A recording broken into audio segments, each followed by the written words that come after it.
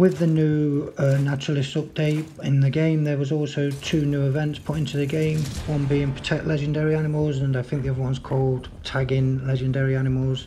The video playing in the background is protect legendary animals which i prefer over tagging legendary animals. It's just much more engaging there's much more to shoot.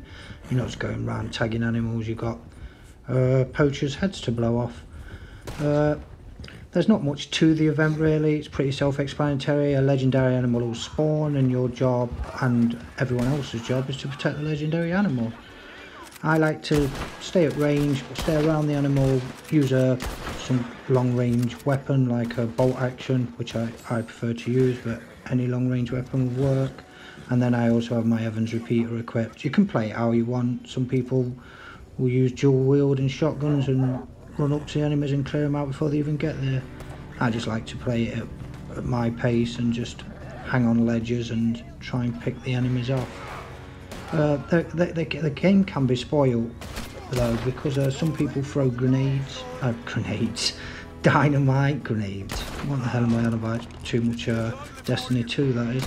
Uh, dynamite at the animal which will knock it off track and then the timer runs out because the animal can't get back onto its track and you, you will fail the event. Uh, this has happened to me a few times but in this one, in this video here, people were playing it properly so we managed to complete the event.